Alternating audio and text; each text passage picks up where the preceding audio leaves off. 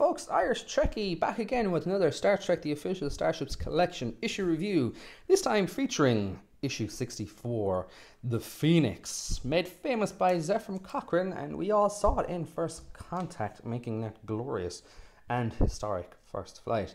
So, we have a, what looks like a fantastic model uh, without kind of going too much into it. So, let's put this to one side, and I love how big this ship is.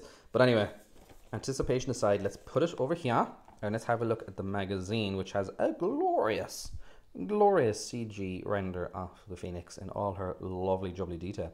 So let's have a look at what's inside, shall we? So, launch 2063, not too far away. And crew 3, length 20 meters, max speed, warp 1. This was the warp to test flight, wasn't it? So, We've got four sections. We have the Phoenix, designing the ship, Starfleet First Contact costumes. Here we're talking about pants and jackets again, and uh, on-screen appearances, and we all know what that is.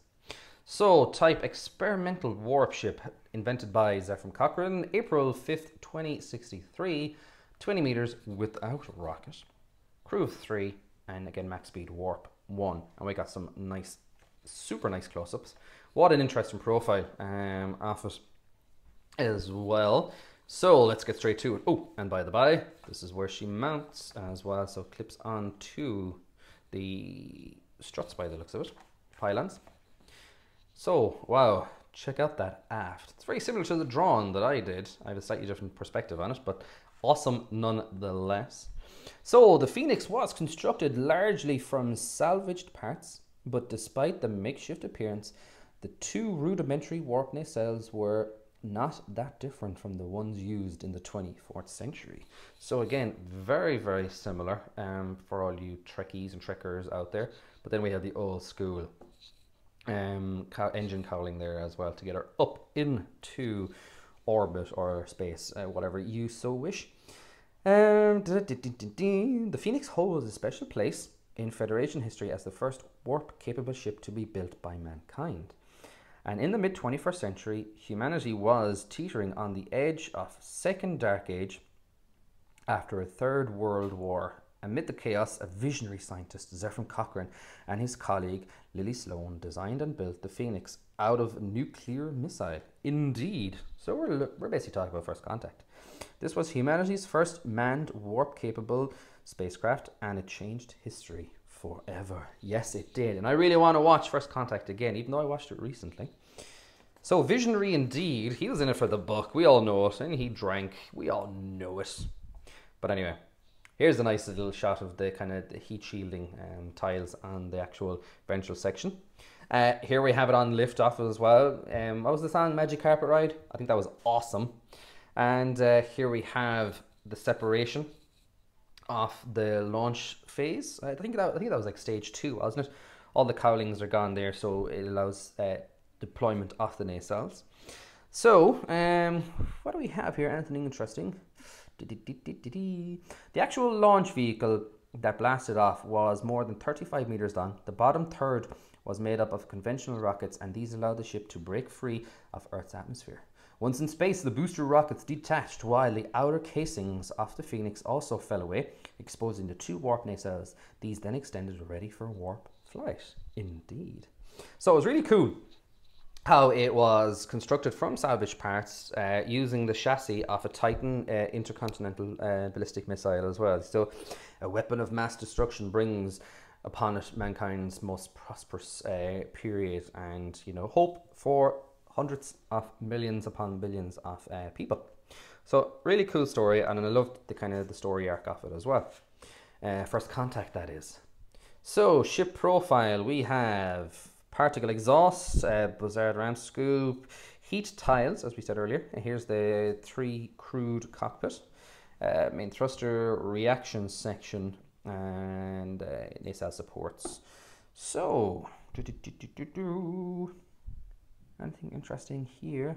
By the 24th century, the Phoenix was on display at the Smithsonian Institution. Captain Picard had seen the exhibit many times as a child, but it was never allowed to.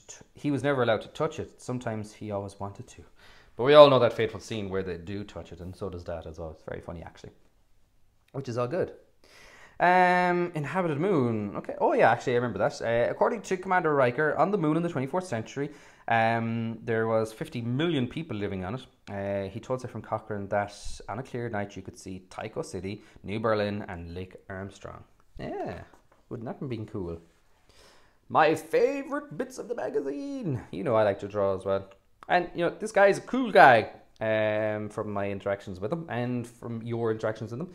So John Eaves designed the Phoenix uh, with a little help from uh, Script and Michael Okuda, among many others as well. So here we have some concept art. Uh, here we have the capsule with what looks like a burger, um, pie, Scottsdale, Arizona, uh, Booker, Bookbard, Buckaroo, maybe I don't know, and chorizo, chocolate, chocolate something pie. I don't know. Uh, Diane Carr's Cook Shack special. I just don't know what those doodles reference to. Maybe I'm, I'm completely wrong here. But here we have the separate uh, command module there. Again, thrusters for maybe RC, uh, RCS maneuvers to bring it into um, basically into atmosphere to bring it down. So I'm assuming either it landed kind of like the SpaceX one, uh, powered thrusters, or did it deploy you know parachutes and such, or was it a combination of both? I don't know. So this is an early version of the design. Um, Phoenix had a much more involved. What was it? Oh yeah, Phoenix had a much more involved shape under the missile plating, but that was rejected in favor of a simpler approach as well. I think that actually, the way it is now is better than um, some of the designs as well, and I like the more simplistic nacelles. Uh, here we have the thruster nozzle component, which again was uh, built to be put on the practical model, uh, as far as I'm aware, because they had that silo that they were able to work with as well. And some fantastic sketches here showing it inside the lifter stage, the separation pieces. There's the four uh, panels um, and how they would separate. Deployment of the nacelles and a really detailed uh, concept of the tree, tree, three seat cockpit uh, done by Eaves as well. So like even down to like vents tiling uh, how the command chair would swing back, probably do a loop around for them to sit into. Maybe these guys swung around as well, but I like that. It's such a cool philosophy, and I'm sure there's some great little tidbits in here that I'm going to be really going through. Creating the costumes for First Contact. So we have some nice concept art there. Picard, Riker, um, LaForge, Crusher, Troi. Yeah. Will we be wearing that? I don't think so. I think everyone's going to be hipsters in 2063. No, over my dead body. I don't know. I'm only messing. here we have some on-screen uh, images here as well, reminiscent to the CG uh, picture that we saw there earlier. Um, first appearance, Star Trek First Contact, designed by John Eaves. And that leads us on to issue 65, the Xindi Aquatic Cruiser. Looking forward to that, but we'll have to wait two weeks, hopefully, and get our hands on that. So that's pretty much it, folks. We're going to close out on the back graphic here, and we're going to get up close and personal with the Phoenix. Here we have the Phoenix, and it looks pretty awesome from this distance anyway. So let's take her out of her box, and let's get super, super close with it. Okay, hang on. Is there a way to... Okay. So I advise taking it out from the back and pulling it towards you because there's some ribs in here. I was worried about the cockpit.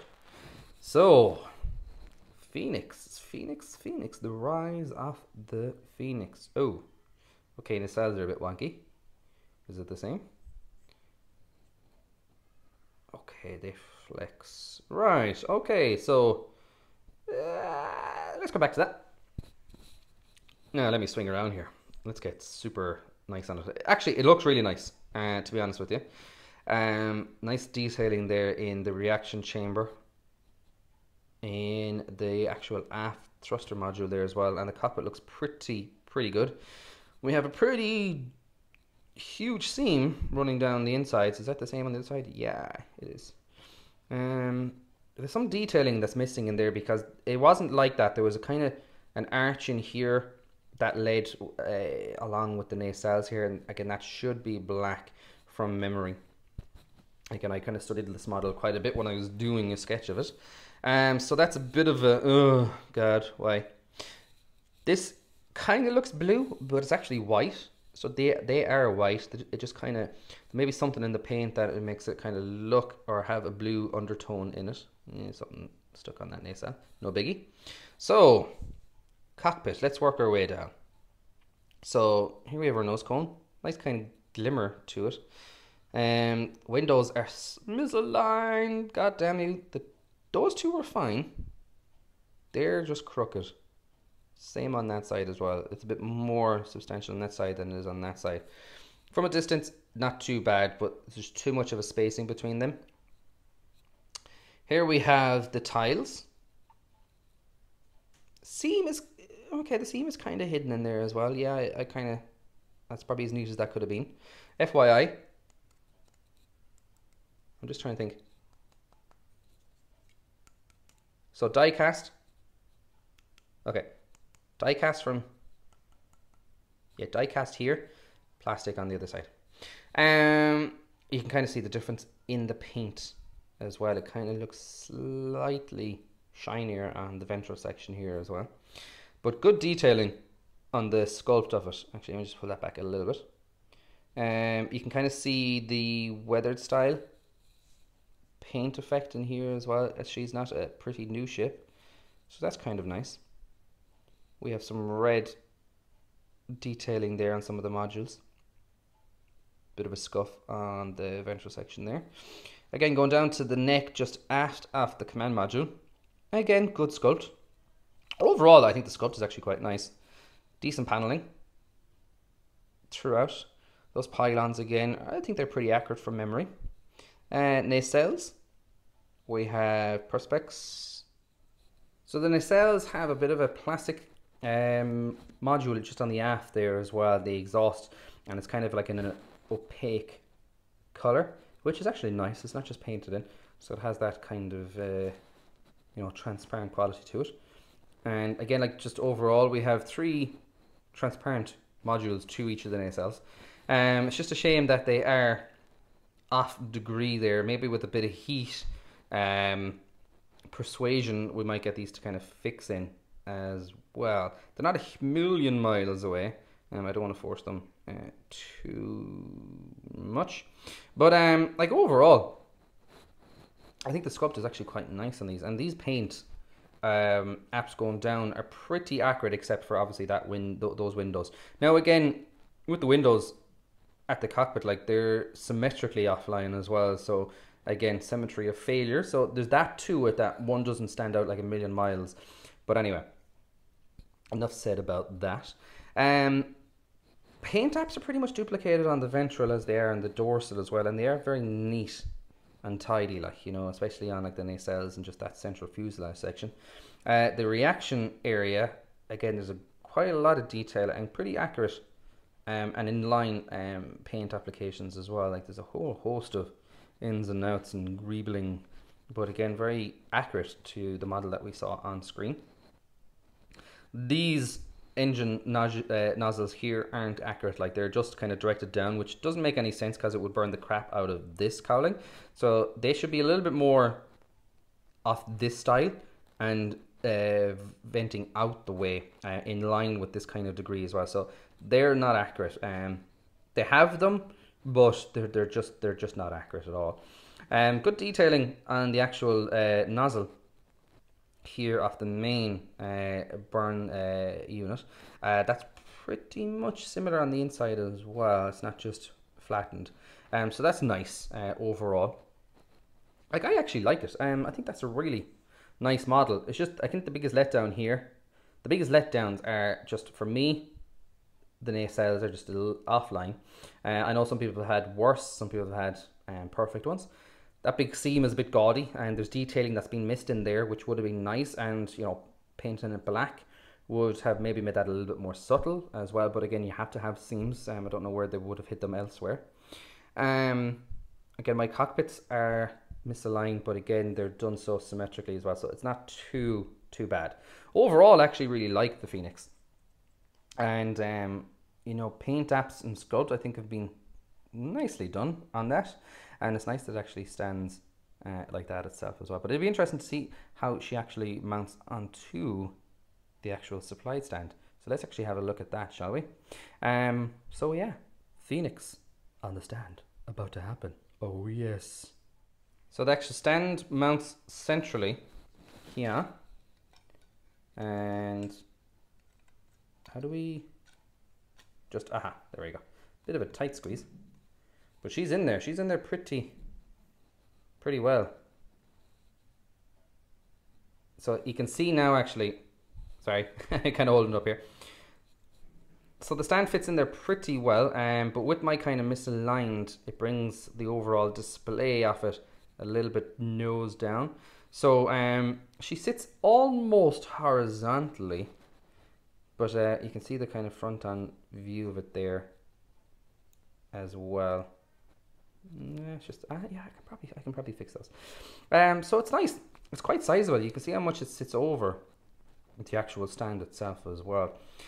Like, to be honest with you, okay, it has its it has its issues, but I think it has more going for it than it has going against it as well, and I like it.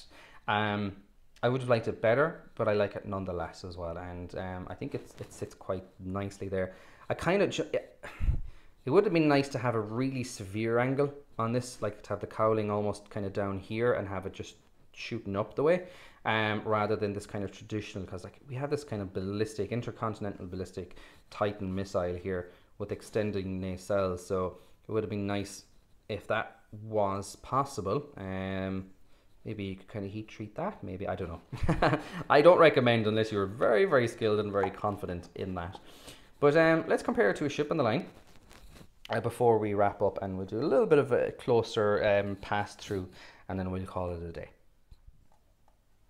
Of course, I had to bring another one of Eaves' classic designs, the Enterprise E. We haven't seen her in a while in one of these videos, have we? So again, um, these guys shared the limelight in the same movie, or these girls. And um, again, like, you know, centuries apart, but the idea is the same, you know, pylon nacelles, you know, coming from the main fuselage or drive section as well.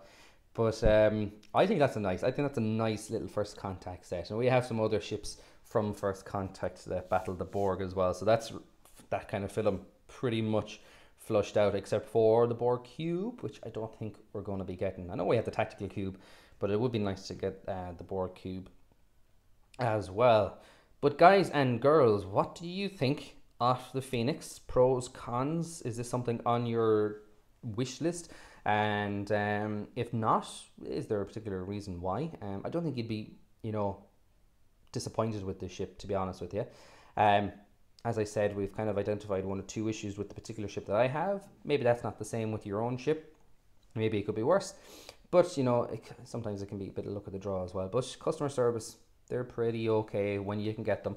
They're actually sending me um, a replacement for my ISS Enterprise as well. I got in contact with them. I think Facebook is the best way to get in contact with those folks um, as they respond pretty quickly um, as well.